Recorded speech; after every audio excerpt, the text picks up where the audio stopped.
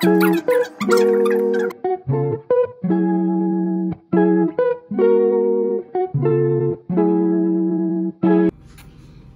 guys welcome to my youtube channel.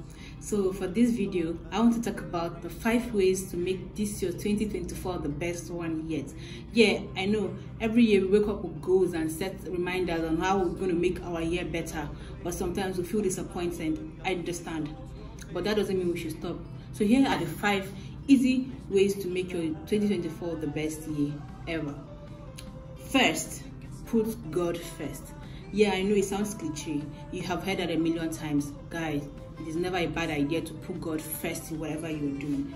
I can tell you from a personal perspective that it takes all your worries and, anxieties away. How do you do that? See, at the end of the day, we should realize that there's nothing in our control.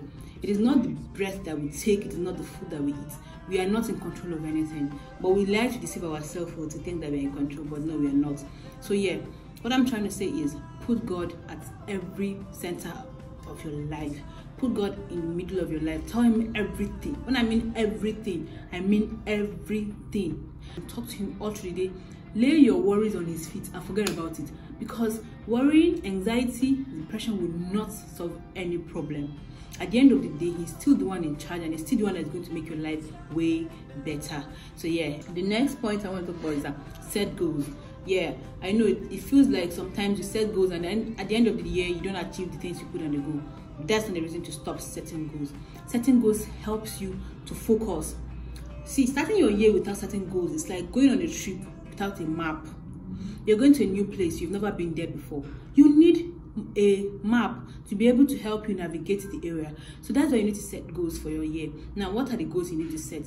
Things you are going to do this year. Things you want to be better at. How to navigate the whole of the year. That way, it's way easier for you to do something and get better at it. At the end of the year, you can come back, oh, I said I'm going to do better at spirituality. What did I do this year? Do you understand? Setting goals is never a bad idea. Guys, are you a 9 to 5er? Are you an entrepreneur?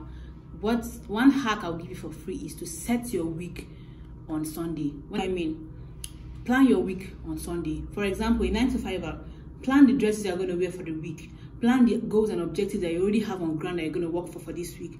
That way when you wake up on monday morning it's not when you're starting looking for where is one leg of my shoe? Where is this? Where is that? No everything is already set. For an entrepreneur you say okay for advertisement i'm doing this social advertisement this week blah blah blah. I'm taking out on this client i'm doing this on that. That way when you wake up on monday morning you're already prepared from the day before what you want to do for that week. Guys get your finances in order.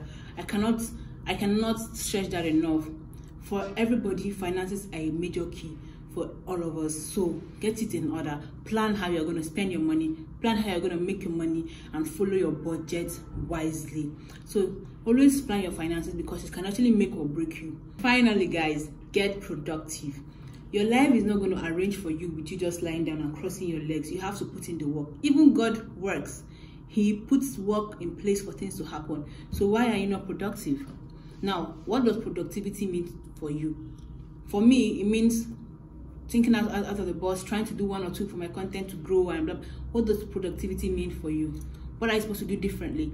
What are you supposed to stand up and get done? Do you understand? Be a productive person and trust me, you are going to see it in ripple effect work for you. Do you understand? So yeah, these are the few points I want to put out in this video. It could get longer, but I just said let me make it short because if you follow these five rules, there's no way there is no way your life is not going to be easier. And i wish for it to be easier and better this 2024 great things are going to happen for all of us and we are going to have an amazing testimony at the end of the year. So guys what else did i talk about on this our channel?